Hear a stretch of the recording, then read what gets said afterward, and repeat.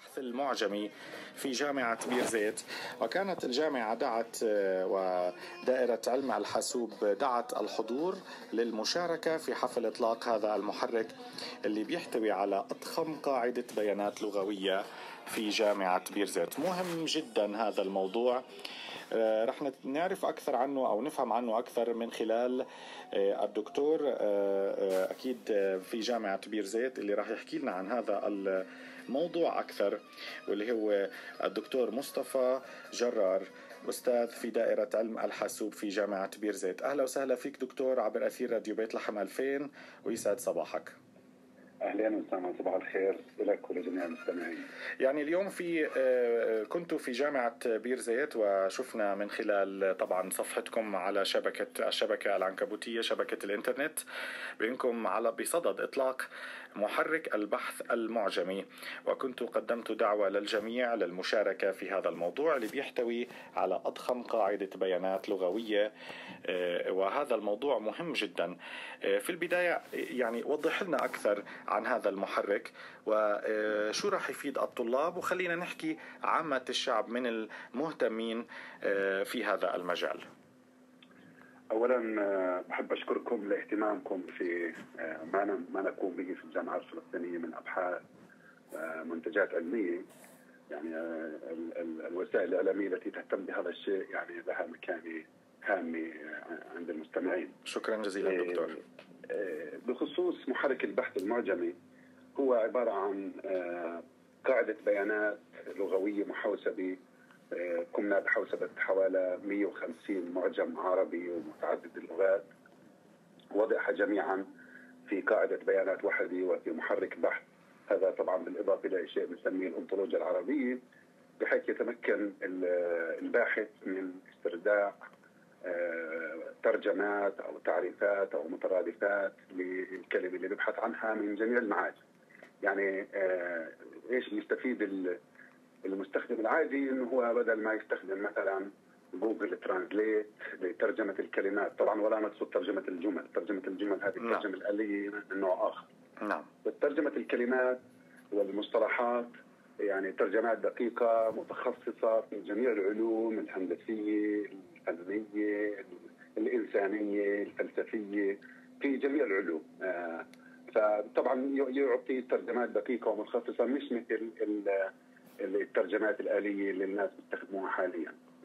طبعا وهذا الشيء آه، الحقيقة هو إحنا أول لغة يعني تقريبا في العالم هلأ إحنا بنكون عندنا هذا الكم ضخم جدا جدا من المعاجم من حوسبة موحدة.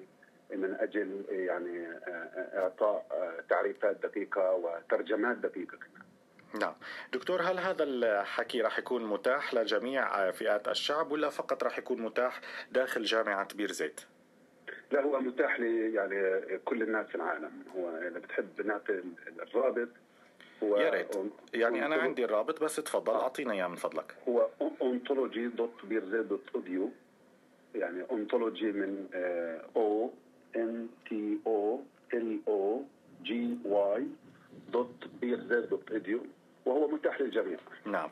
أي فئات استهدفتوا آه، آه، خلينا نحكي آه، في ممكن بيساعد يعني أي فئات ممكن يساعد هذا المحرك وممكن يكون خلينا نحكي بيساعد الأشخاص اللي بتقدموا للدراسات العليا أو بيساعد الناس. يعني أنا حابب أعرف هو أي فئات بيساعد بالضبط هذا المحرك؟ هو بالدرجة الأولى وأكثر المستخدمين للمعاجم هم عادة الطلاب والباحثين، طلاب الجامعات والباحثين، طبعا هذا كمان في ناس اللي بيبحث عن ترجمة كلمة، اللي بيبحث عن سمي ابنه، اللي بيبحث عن أي شيء بحاجة لترجمة أو لمترادفات، هذا طبعا آه، يفيدهم يعني مباشرة. نعم. حلو جدا. وين راح يتم في الجامعة؟ بأي مبنى راح يتم إطلاق هذا المحرك حتى اللي بيسمعونا مهتمين كمان يشاركوا بهاي الفعالية يكونوا موجودين معكم إيه، يوم الثلاثاء الساعة الثانية ظهرا في مبنى منيب المصري في كلية الهندسة إيه، في الجامعة.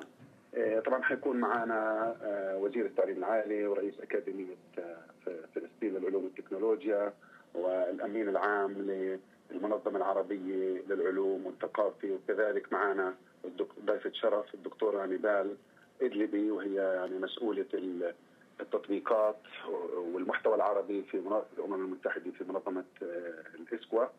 آه، في طبعا إحنا هذه آه، حفل الإطلاق هو يعني إحنا طبعا طبعا هو مش جديد هو محرك البحث بالمناسبة هو لحظة إعلان خلينا نسميها. هو عمل قمنا به منذ يعني ثمان سنوات أو تسع سنوات وإحنا نطبع في معاجم وندققها وننكحها وأخذنا كذلك يعني موافقات جميع أصحاب المعاجم والمؤلفين جميعا آه، عبر تقريبا ثمان سنوات. فإن شاء الله تكون الثمرة يعني يوم الثلاثاء وبنرحب بالجميع بالمشاركة بهذا الحفل. ولتوضيح كمان آه، إمكانيات أخرى لمحرك البحث وتوضيح ما هي الانطولوجيا العربية للمهتمين. هل راح يكون سهل التعامل مع هذا المحرك حتى نسهل التعامل للوصول إلى المعلومة للباحثين والدارسين؟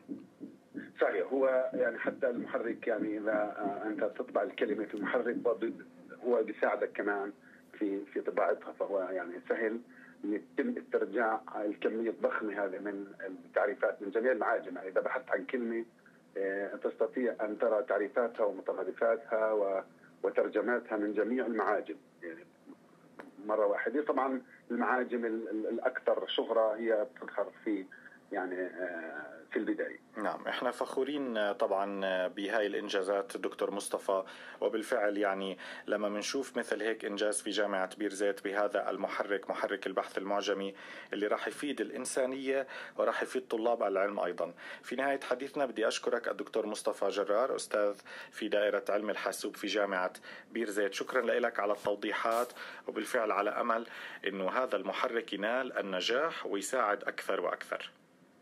شكرا كثير وشكرا لاهتمامكم. تحياتنا الصباحية.